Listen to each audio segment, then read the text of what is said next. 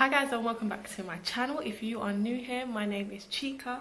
I am an entrepreneur in Lusaka, Zambia and I produce at least one video a week. But this December I've been a little bit more generous. So feel free to scroll back and experience my escapades. Today I'm going to talk about the various different salons that I have visited and got my blue braids done. I'm going to touch on my experience for the guys, for the boys, for the men that are watching this video, particularly the ones that have been asking for clips of Lusaka.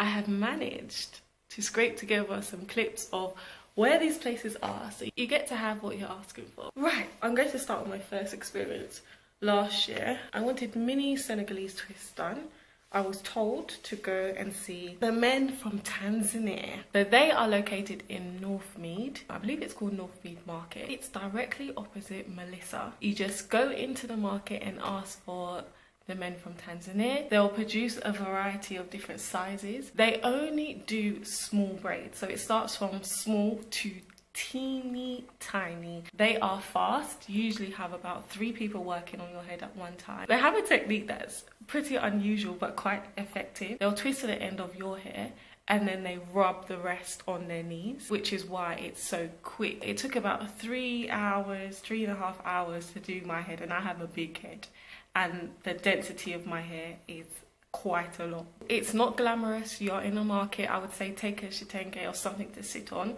Otherwise, you're going to be on a cardboard box. Possibly you could end up with knees in your face, hands in your face, all sorts. There's no, there isn't really a level customer service there. It's literally get your hair done and go.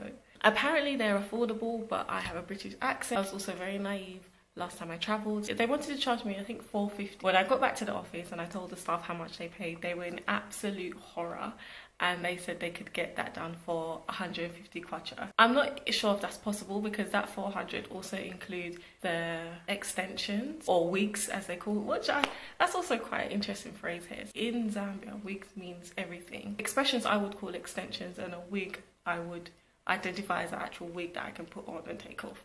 But here, everything's a wig. Anything that gets attached to your head is a wig. Out of all the places that I'm going to talk to you about, Beauty Stop is one of the easiest ones to find. The pros of going to Beauty Stop is that they're fast, they're easily accessible, they take walk-ins practically at any hour. They have staff. That place, they have staff. I have gone in probably at 14 hours, like 14.30 for braids done. And I would never ever do that anywhere else.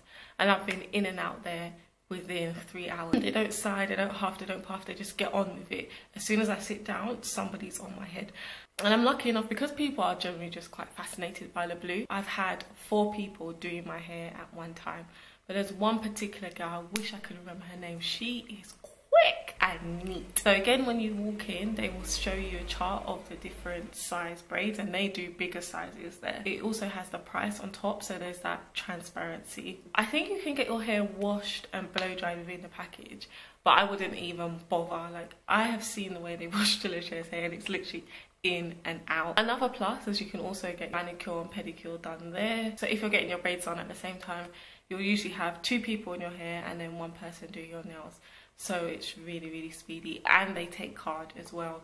If they say to you that their machine's broken they all they have two machines there. So don't let them con you. Because i feel as though the first time i went there they're overcharged but now I always pay by card. So at least if they're overcharging me, it goes straight to the owner. So con, their practices in there are shocking. For kids, it must be so traumatic. There are always kids crying in there. They rake the blow dryer through these young girls' hair and adults' hair as well. I saw a client having her edges and part of her regrowth relax while it was in braids. I mean, why would you do like it means that the relaxer is on your scalp. I, I couldn't imagine anything worse just to have your edges laid. If I'm going to beauty stop, one, I'm washing and conditioning at my hair before I go there. When they braid your hair, there's no combing out, there's none of that.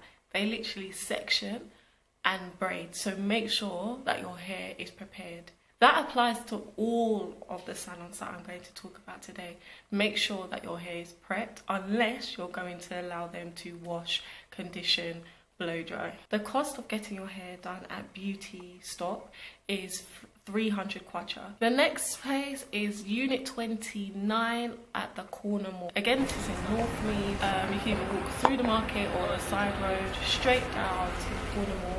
Go inside. Unit 29, out of all the salons there, the most affordable. It's 250 kwacha to get your hair braided there but it will take you long. That really and truly, there's one woman that does your hair. Sometimes other stylists will chip in, but ultimately you have one stylist doing your hair. I don't particularly like the finish. I feel as though they were not uniform. There were some that were quite chunky, then others that were small, and then also the way that it was attached. So, so this part here, the way that it was attached to my hair it, this is not from there by the way, was done like really bulky. I, I was constantly worried about my edges and as the time went on, I found that it was just really heavy. Lastly, Velilla in Manda Hill Mall. By Nando's there's some stairs. If you go up the stairs, Velilla is based there. I think out of all of them, they might be the most expensive. The women there take direction. Now when I go there, I take my own products because I've gone there before and had my hair washed and had a treatment. It was not a treatment, okay? And now when I go in, I say, okay, I've got my own conditioner, I've got my own deep conditioner. I want to be under the steamer for at least 25 minutes to 30 minutes before you take me out.